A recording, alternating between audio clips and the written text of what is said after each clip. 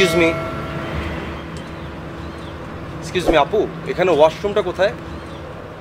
এই পুরা বাসায় আমি ছাড়া আপনি কাউকে পাইলেন না ওয়াশরুম কোথায় জিজ্ঞেস করার জন্য? অ্যাকচুয়ালি কাউকে পাই নাই। আপনি কি দেখলাম এই কারণেই আপনার কাজ করলাম। আর আমি তো ঢাকা থেকে আসছি এই বাড়িতে বিয়ের গেস্ট হিসেবে। আমি তো আর চিনি না ওয়াশরুমটা কোথায় তাই না? তা আপনাকে দেখে মনে হলো এখানে ওয়াশরুমটা কোথায় আপনি খুব ভালো করেই বলতে পারবেন। এই কারণেই আপনার কাজ করলাম। আর আপনারা কি ওয়াশরুমে যান না? চেনার তো কথাই।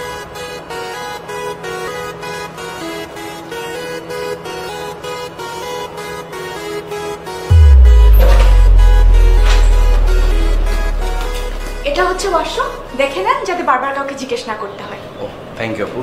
আপনি কি মাইন্ড করছেন আপনাকে ওয়াশরুম কোথায় জিজ্ঞেস করার জন্য? জি না ভাইয়া আমি একদম মাইন্ড করিনি। না মাইন্ড করাটা আসলে উচিত না বিকজ আমি তো এই হাউসে নতুন আমি তো কখনো এটা ইউজ করি না That's আমি জানি না এই জন্য আমি আপনার কাজ করছি। না ভাইয়া আমি একদম মাইন্ড করিনি না। আপনি মাইন্ড করেন না সেটা আমি বুঝতে পারছি কিন্তু আপনি যদি মাইন্ড করতেন না আমি আসলে মাইন্ড করতাম আপনার উপর যে কেন আপনার মাইন্ডটা করেন। না ভাইয়া মাইন্ড করিনি। থ্যাংক ইউ সো মাচ আপু।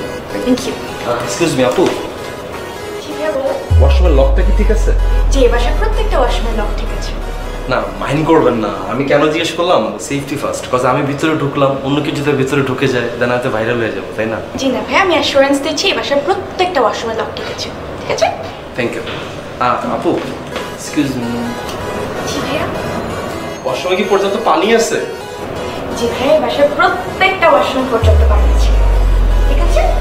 থ্যাংক ইউ আপু জি ভাইয়া? লাস্ট ওয়ান সো সাবান আছে? জি ভাইয়া সাবানও আছে। থ্যাংক ইউ আপু। আপনি ওয়াশরুমে যাবেন না? না কথা বলতে বলতে চলে গেছে। পড়াশোনা আসব না আমরা হ্যাঁ?